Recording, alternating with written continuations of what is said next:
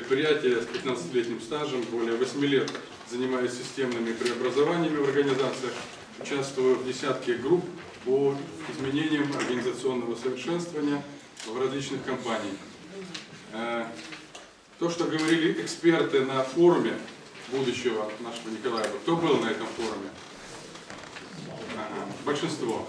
То помните, они говорили о том, что нам нужно перенимать лучший опыт. И лучший опыт, скорее всего, европейских компаний. Так вот, в этих компаниях существуют определенные традиции, культура, этика, корпоративная социальная ответственность и многое-многое то, что мы уже начали употреблять в своем сленге, но мало что понимаем, как это применяется. Так вот, э, многим компаниям, таким как Сандора, Нибулон, удалось применить подобную культуру в своих организациях. Я уверен, что мы можем взять как матрицу и перенести ее в нашу организацию городской исполнительной власти. Согласны? Согласны. Теперь несколько этапов, которые нам предстоит преодолеть. Путь это не быстрый, мы не на спринт с вами рассчитываем, поэтому эта программа где-то на 8-9 месяцев. Но чем мы будем заниматься? В первую очередь мы должны с вами понять, кто наши клиенты. Я провел уже ряд встреч с управлениями и отделами и до сих пор сталкиваюсь с тем, что сотрудники этой организации считают, что клиентов на самом деле у нас нет.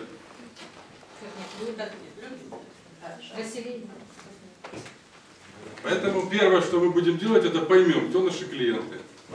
Затем, или параллельно, мы будем думать о том, что является ценностью для наших потребителей и клиентов. Слышали о таком термине? Ценность. Кто может рассказать, как можно сформулировать ценность? Смелее. Что-то очень важное. За что платят деньги?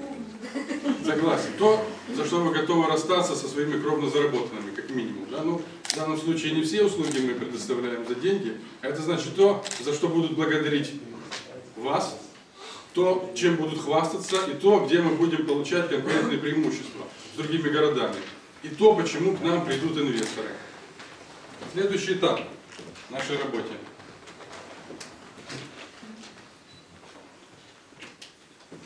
Будет нелегким, видите? Надо готовиться. О, ну мы будем работать над этим. Как вы думаете, что это изображено? Это не перечеркнутая структура. Вектора направлений может быть масса, и это будем решать мы вместе с вами, да, чем мы будем заниматься.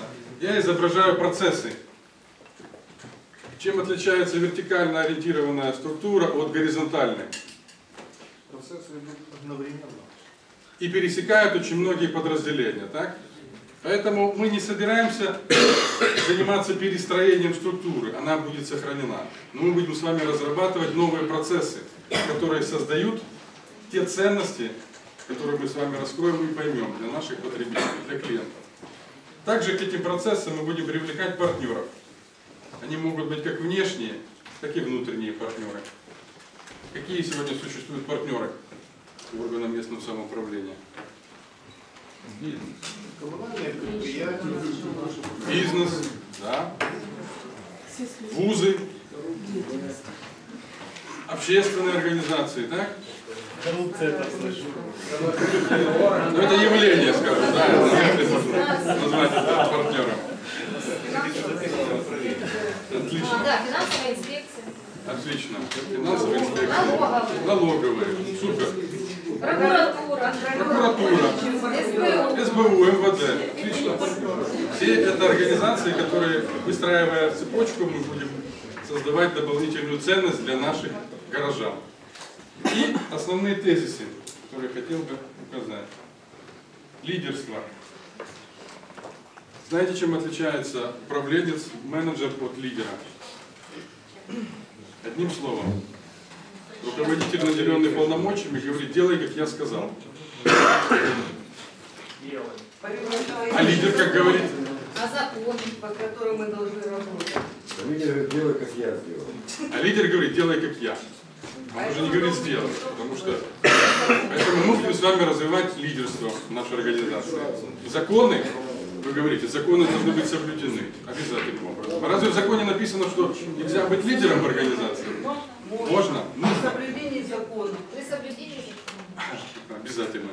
Так говорите, как будто вас постоянно упрекают в нарушении законов. Или вы говорите, как будто вас все время вас заставляют нарушать закон. Сейчас Валентин говорит, сейчас Валентин говорит о том, что когда, к примеру, начальник вам говорит, что вы в 8.30 должны быть на месте, а сам приходит постоянно к 10.